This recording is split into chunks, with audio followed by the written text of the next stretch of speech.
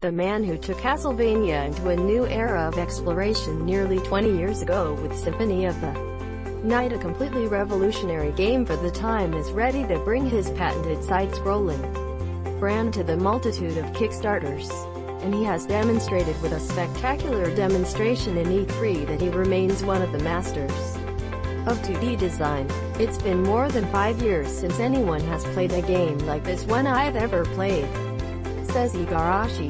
Movement is the absolute key to an Igavania-style experience, and Miriam controls as much as one of Castlevania's Belmonts to make you feel at home but her set of moves, which combines shiny swords and punitive kicks, brings more possibilities to the table.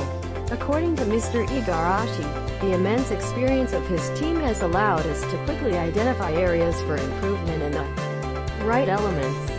He is passionate about shaping and perfecting the classic key formula that has made him famous, without the need to build a new kind of experience from scratch. Igarashi, nicknamed simply IGA by legions of fans from all over the world, has left behind more than half a decade of dream far from the class he loves.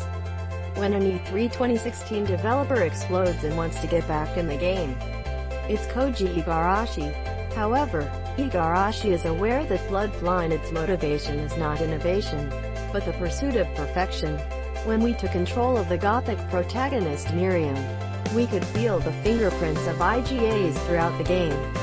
In the best sense of the word, my team has created so many games like this that, that we understand the key to the game and how to really experience it, he says. The clip we played already seems to be ready for prime time and should not improve until the next 9 months of polishing. We probably have more collective experience with this type of game than anyone else in the world. Many practical demonstrations of E3 really feel like work in progress that could reach its potential, which is not the case with Bloodstained.